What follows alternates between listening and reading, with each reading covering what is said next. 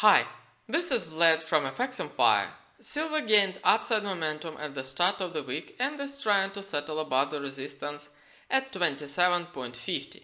If this attempt is successful, silver will move towards the next resistance level at 27.75.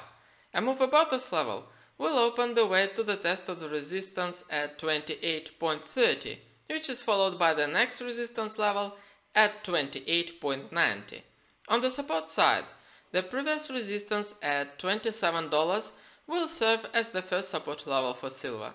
If silver gets below this level, it will head towards the support at 26.70.